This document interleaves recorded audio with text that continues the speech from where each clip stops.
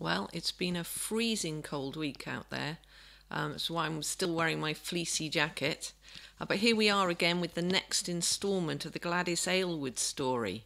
Um, this this London girl um, who, when she was 19, do you remember at those in, in that Pentecostal revival, becomes a Christian um, and offers her life to God, feels that she is he is calling her out to China, turned down by the missionary societies, then saves up enough money all by herself uh, to head out to, to China on the train. And she goes on that extraordinary journey, doesn't she? Um, out across Europe uh, to Siberia. Then she has that extraordinary walk in the snow with the woods and the wolves. Um, she's arrested by Russian officials. God really speaks to her tells her not to be afraid because he's with her. And then she ends up on that Trans Siberian Railway and goes right out, doesn't she, beyond China, ends up in Japan, uh, where the Christians care for her and put her on a ship back towards China. And then she arrives in Tientsin in that city, and the Christians gather around her. And do you remember? She sings uh, she's never sung it before Praise my soul, the King of heaven to his feet my tribute bring. And then she does that last part of the journey on the mule with Mr. Lu.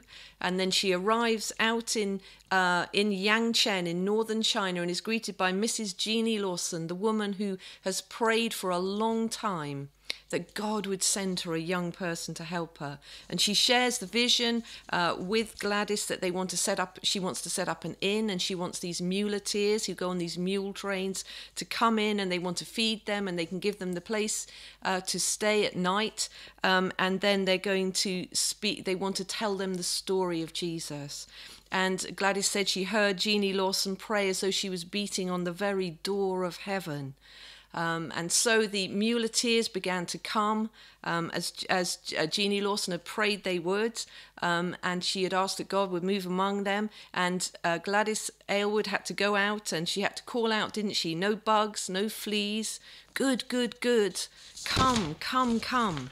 And do you remember it was bitterly cold out in northern China? And so the, the men would sleep in the inn on these long, long stone platforms called krangs, um, and they had fire underneath them and they were kept warm. I think actually it might have been quite cozy. Wouldn't mind spending a night on one of these, so long as I had a comfy mattress as well.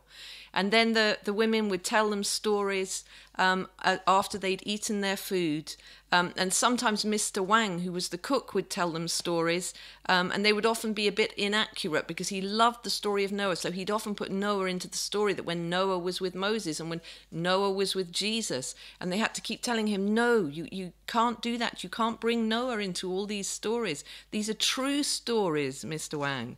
And so the word got round about the um, ab- about the inn, and Gladys Aylward said she remembers watching the men leaning forward to hear every word that Jeannie Lawson said, especially when she spoke about Jesus. She spoke of him in heaven now among the angels, and many of the men began to become Christians. Um, and because they were traveling, they then spoke to others wherever they went um, of their new faith in Jesus. Um, it was an amazing time. And during that time, um, Gladys herself, amazing miracle really for her, she began to get the language. She'd been told you'll never get it. Um, and she began to speak it, speak it fluently. She began to read the Chinese Bible. Uh, God had helped her with this. And then, do you remember? It's where we finished last week. Uh, there was a, twist in the road for Gladys because Jeannie Lawson, age 74, had a fall. Gladys nursed her in the inn over several weeks as she was dying there. Um, and before she died, she said to Gladys, God called you here in answer to my prayer. He'll provide for you, He will protect you, He will bless you. Carry on with the work and then she died. And we showed you this picture, amazing picture of the day of the funeral in 1933 with Mrs. Lawson's coffin in the middle. And you see Gladys Aylward sitting on one side of it. And this is the, you can see there the Christians. This is the beginnings of the church out there. You can see the men at the back with their Bibles. These were men who'd recently become Christians. And probably Mr. Wang is the very old man sitting with the stick and the Bible. Um, but they had to bury Mrs. Lawson out there, and Gladys Aylward was now alone. And she was quite alone. Um, there weren't other Europeans around. She had no financial support. And she had a kind of crisis now. She thought, well, do I need to go back?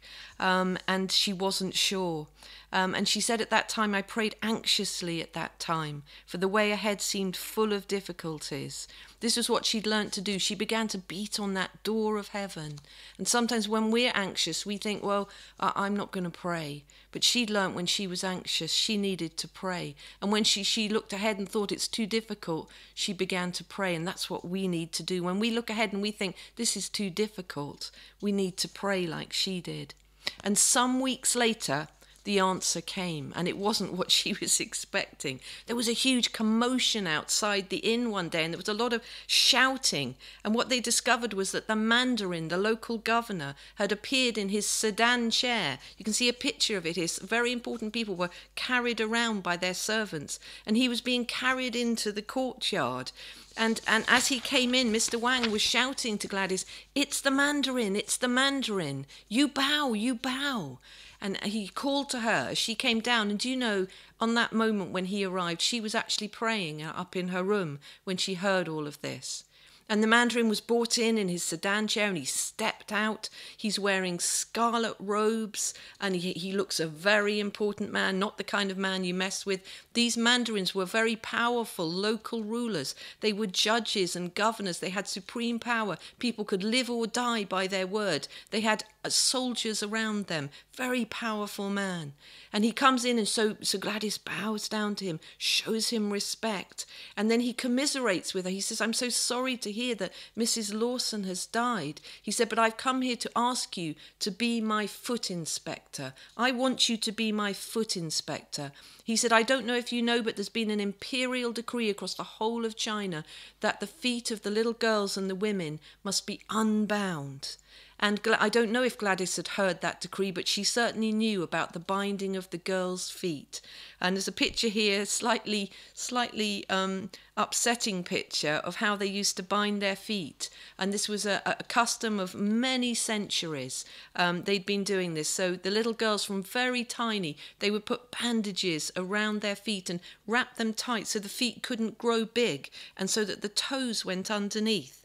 Um, and they and so it meant that the women you can see the picture here had tiny tiny little feet. But the government had begun to realize this wasn't a good practice. And so he said i want you to go out into every home um, and i want you to unbind the feet. I want you to go right out across the province not just in Yangcheng. I want you to go across the whole area um, and unbind the feet of the women and the girls. And i'm going to send my guards with you and she said to him, I didn't come here to be the foot inspector and to work for you.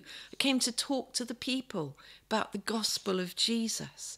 And he said to her, I don't mind what you talk about. You can talk about your God, he said, um, but I need you to do this for me. And then she realized that the Mandarin's request was the answer to her prayers. It meant she could stay in Yangcheng. He offered her money and food for doing the job. It meant she could reach the women. At the moment, they were only reaching the men, but it meant now they could reach the women as well.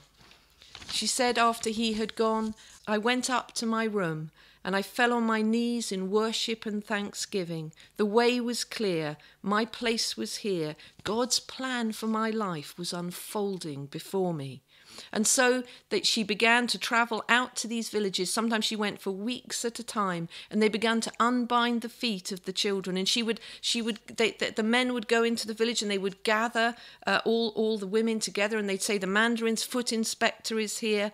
Um, and then she would come and she would unbind the little ones' feet first and let them move their little toes for the first time. And then she would sometimes take off her own shoes and show them her feet, and they would say, "Whoa, your feet are so big." But actually, do you know she only had size three feet in our sizes because she was such a, a little lady. Um, and the people began to gather, they began to come. Um, and as she traveled, she began to pray. She wrote at that time in her Bible prayer is not an exercise, it is life itself. She was praying more than she'd ever done before. She prayed a lot when she was on that donkey, that, that mule, as she traveled round with those soldiers accompanying her. And everywhere she went, she spoke about Jesus, and numbers of people began to become Christians. She wrote in her diary, I had longed to go to China, but never in my wildest dreams had I imagined that God could overrule in such a way that I would be given entrance into every village home, to have authority to banish a cruel and horrible custom, and to have government protection and be paid to preach the gospel of Jesus Christ as I inspected feet. An extraordinary thing began to happen, and churches began to grow up in those villages. She was busy now. The work back at the inn went on because the men had been trained up, um, and the work in the villages continued. And Gladys Aylward was really settling into China. She said at that time that she lived like the Chinese, dressed like them, ate like them, spoke like them. Sometimes she even said she thought like them. She wrote, This was my country now.